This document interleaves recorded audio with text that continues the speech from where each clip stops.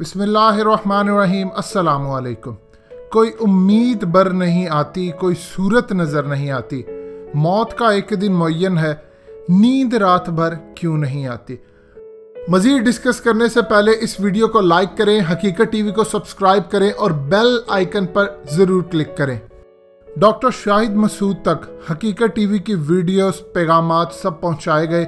ان کو بتایا گیا کہ حقیقت ٹی وی کی کیمپین جو آپ کے ساتھ ہوا، جس طرح آپ نے مافیا کے خلاف لڑائی لڑی ہے، میڈیا پر جو باتیں نہیں بتائی جاتی، زینب قتل کیس کے پیچھے چھپی آپ کی قربانی اور اس کے بعد کس طرح گمنام ہیروز نے پاکستان میں مافیا کے خلاف صفایا کرنا شروع کیا۔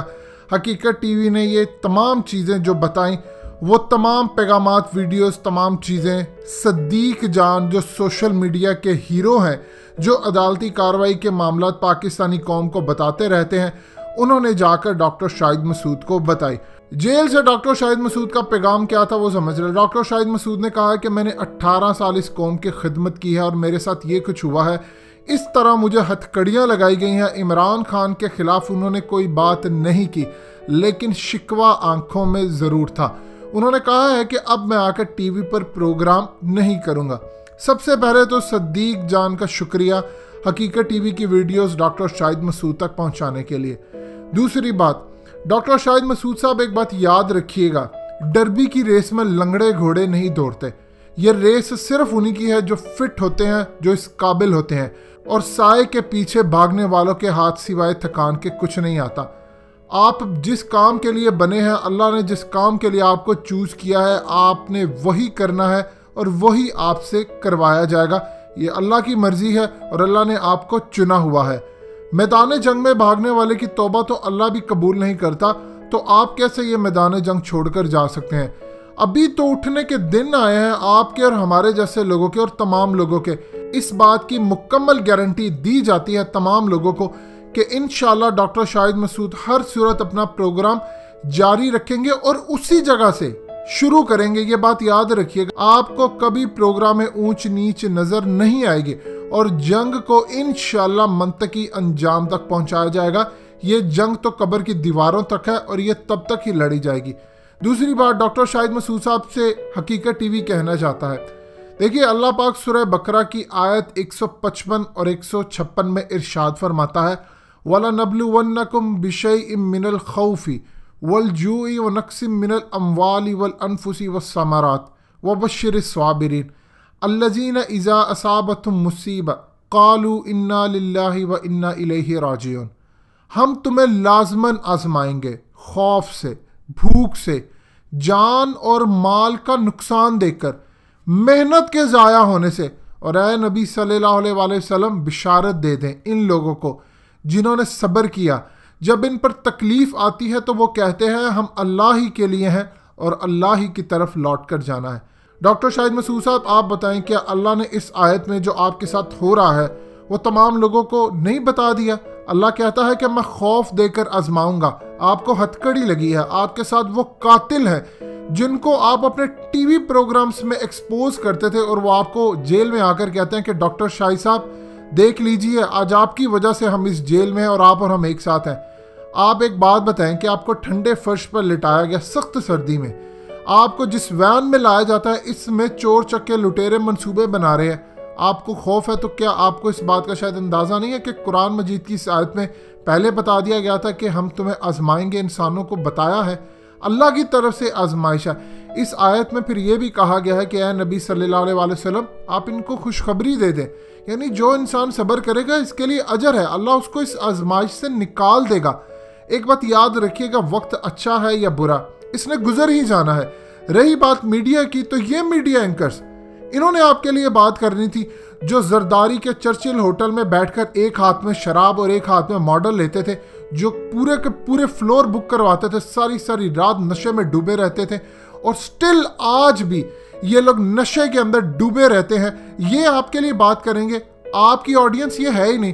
رات کے آٹھ بجے جو آپ کی ہائیسٹ ریٹنگ ہمیشہ سے رہی ہے، باوجود اس کے کہ آپ کا جو نیوز ون چینل ہے، اس کو پیچھے کی طرف رکھا گیا ہے اور کبھی کیبل بند، کبھی کچھ بند۔ لیکن آپ صرف اتنی گزارش آپ اتنا بتا دیں کہ آپ کی آڈینس کسی دوسرے چینل پر گئی ہے؟ یا آپ کی کوئی آڈینس ڈیوائیڈ ہوئی ہے؟ سوال ہی پیدا نہیں ہوتا۔ جو پاکستانی آپ کا شو دیکھتے ہیں، انہوں نے آپ کے جانے کے بعد شو دیکھنا چھوڑ دیا ہے۔ اس غلط فہمی میں کسی کو بھی نہیں رہنا چاہیے کہ میڈیا کو ملا ہے اور ایون کے جو باقی اینکرز ہیں، ان کی تو ریٹنگ ڈاؤن ہو چکی ہے۔ آپ کا لوگ آنے کا انتظار کرے ہیں، یہ میدان جنگ ہے۔ اس میں بھاگنے والے کی تو اللہ بھی توبہ قبول نہیں کرتا، تو آپ کس طرح چھوڑ کر جا سکتے ہیں؟ یہ تکلیفیں، مصیبتیں یہ رہتی ہیں۔ ہمارے نبی صلی اللہ علیہ وسلم نے کتنی محنت کی۔ آپ حق پر تھے، آخری نبی ہیں آپ، سچ ہیں۔ اس کے باوجود آپ دیکھیے کہ دس سال کتنی سٹرگل کی کہ ڈیڑھ سو سے تین سو کے قریب لوگ مسلمان ہوئے، مختلف روایات میں ملتا ہے۔ آپ کو مکہ چھوڑ کر جانا پڑا۔ جب آپ جا رہے تھے تو آپ کی آنکھوں میں آنسو تھے کہ اے مکہ، یہ تیرے یہاں کے لوگ مجھے جینے نہیں دیتے، میں یہاں سے جانا نہیں چاہتا۔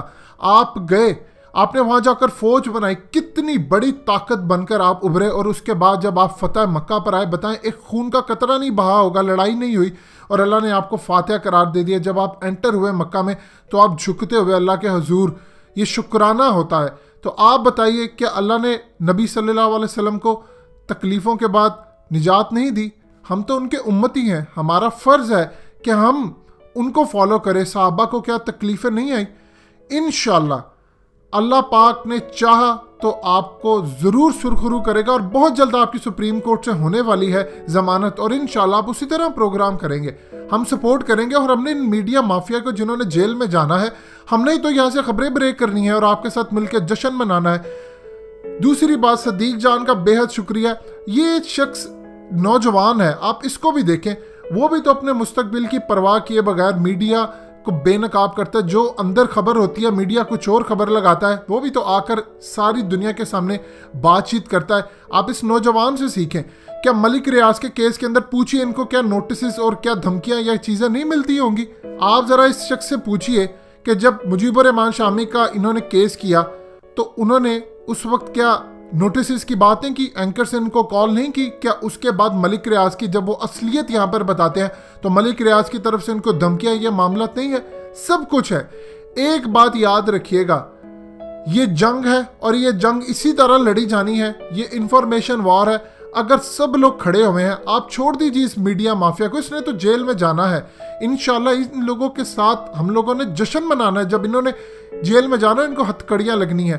آپ اس بات سے پریشان نہ ہو۔ یہ اللہ کی ازمائشیں اور ازمائشیں نبیوں پر بھی آتی ہیں، صحابہ پر بھی آتی ہیں اور ان کے امتیوں پر بھی آتی ہیں۔ اللہ نے اس ازمائش سے آپ کو نکال دینا اور انشاءاللہ حقیقت ٹی وی آپ کے لیے حاضر ہے۔ آپ کا اور حقیقت ٹی وی کا پلیٹ فارم آپ کے لیے حاضر ہے۔ ہم آپ کو یہاں پر لائیو لے لیں گے اگر آپ نے پروگرام نہیں کرنا، لیکن انشاءاللہ آپ پروگرام بھی کریں گے اور اللہ کے حکم کے ساتھ آپ سرخرو بھی رہیں گے۔ اس مافیا کو اس الومناٹی کو فری میسن کو ہم جڑ سے اکھاڑ بائٹ پھینکیں گے انشاءاللہ۔ دوستو، حقیقت ٹی وی کو سبسکرائب کرنا مت بھولیے۔ ویڈیو کو لائک کریں شیئر کریں اور کمنٹ سیکشن میں اپنی رائے کا اظہار ضرور کریں۔